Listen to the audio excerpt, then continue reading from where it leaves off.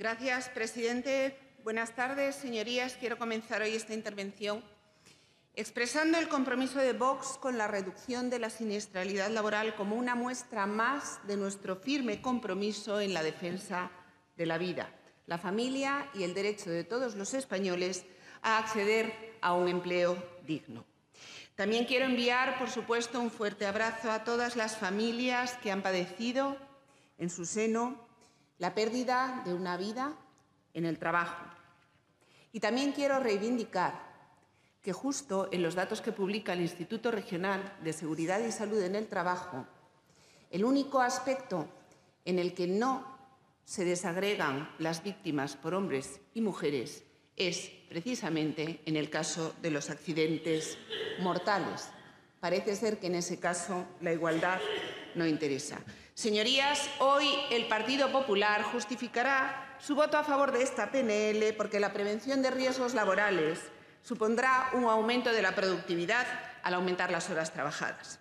El PSOE y Más Madrid venderán la aprobación como una conquista de los trabajadores en la pugna con su patrón, aunque sean realmente los peores enemigos de los trabajadores españoles.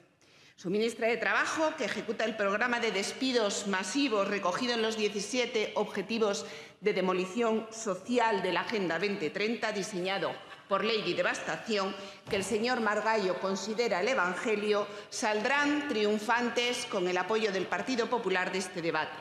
Pero, señorías, los popuprogres y los socialcapitalistas se pierden en sus piruetas políticas carentes del más mínimo principio sólido. Solo los principios que Vox defienden, en palabras que serían de la ministra de Trabajo, pueden ensanchar realmente los actuales límites en la prevención de riesgos laborales, exigiendo un trabajo digno para todos aquellos que contribuyan al bienestar de nuestra nación. Porque defiende acaso el Partido Popular medidas de prevención cuando el saldo económico es negativo? No.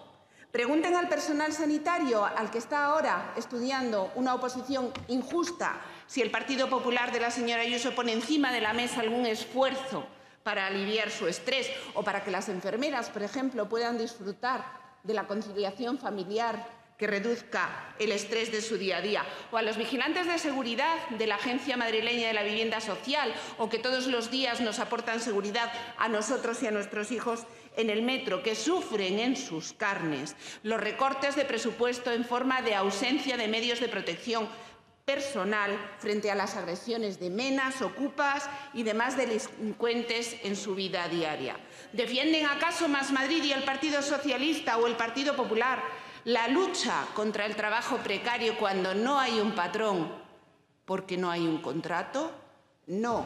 Ustedes, unos y otros, con sus irresponsables políticas de puertas abiertas, de derribo de muros, de sanidad universal, de regularización masiva, llenan nuestros barrios de inmigrantes ilegales que son sometidos a la explotación por empresarios sin escrúpulos. Y no hablo solamente de los empresarios del mundo sexual.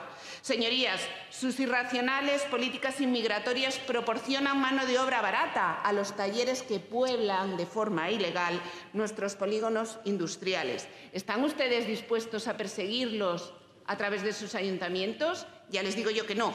Hablemos de Fuenlambrada. Allí la inspección en el polígono industrial a lo que se dedica es a perseguir el delito medioambiental cuando un empresario tiene un traspalé de diésel, pero sin embargo se olvida de inspeccionar los talleres mecánicos ilegales en los que trabajan inmigrantes. Para el señor Ayala, lo más importante, intentar silenciar a la señora Pérez Moñino, con poco éxito, por cierto, porque los tribunales le han dado la razón a nuestra compañera. Y la señora Núñez a lo que se dedica es a decirnos que los MENAX que van a ir a Fuenlabrada van a ser un nuevo término progre, ecomenas, y que, por tanto, ustedes van a conseguir que no sean un problema.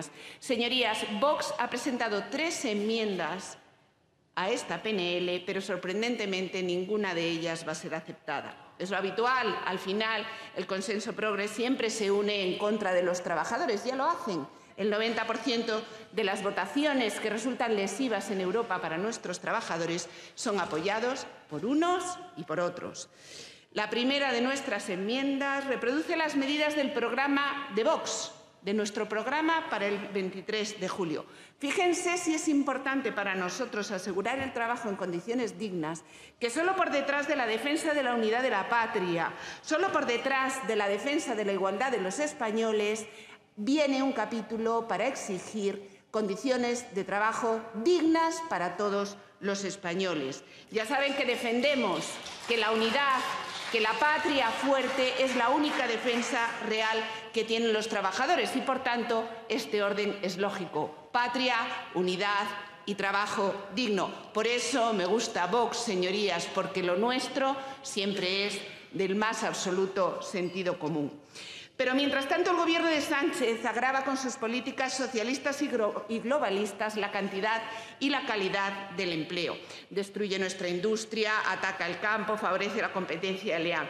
Y frente a esto, ¿qué hacen los sindicatos subvencionados? Callan y otorgan, convirtiéndose en lacayos del Gobierno y blanqueando la precariedad laboral que hoy padecen los españoles, a la que contribuye, como digo, la llegada masiva de inmigrantes ilegales.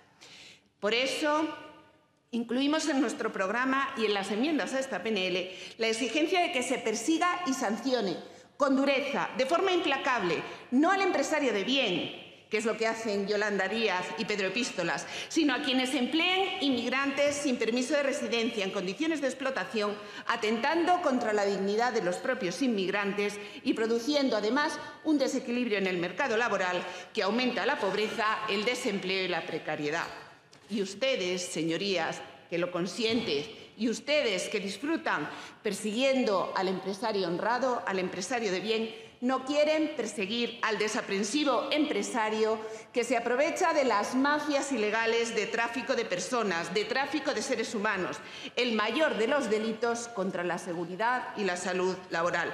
Hoy, uno de cada cuatro trabajadores de la Unión Europea, por su culpa, por sus votaciones, trabaja en condiciones de esclavitud, pero eso a sus señorías no les importa ni les ha importado nunca, porque solo quieren aprobar planes consensuados con los comegambas.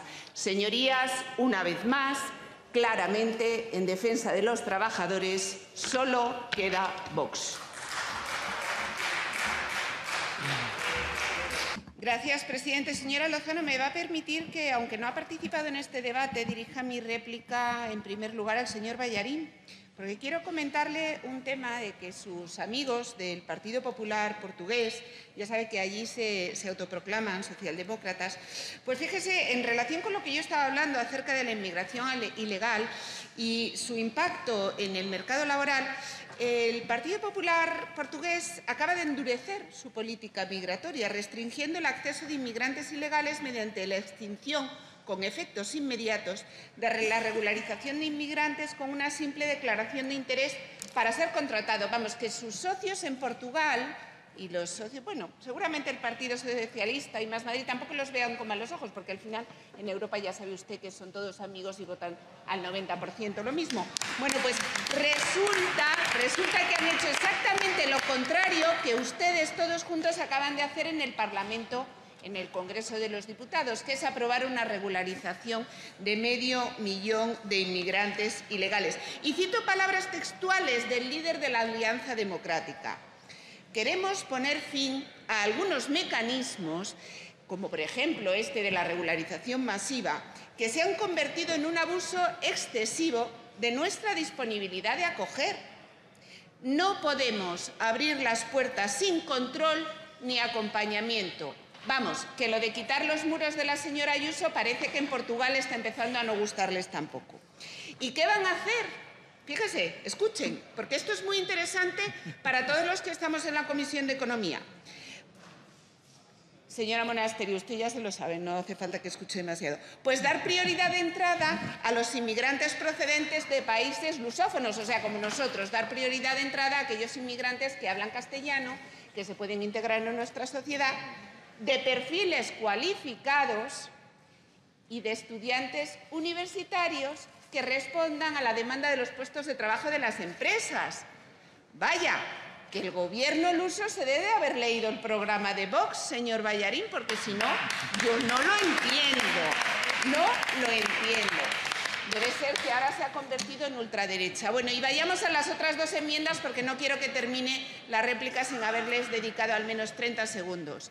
Una enmienda dedicada a que se estudie, se estudie cómo afecta la siniestralidad laboral a esos subcontratos a esos contratos de prestación de servicios para los que ustedes se niegan a revisar los precios y condenan a los trabajadores que en realidad dependen de la Administración a vivir en unas condiciones laborales, a trabajar en unas condiciones laborales absolutamente ilegales. Espero que podamos conseguir que. Gracias.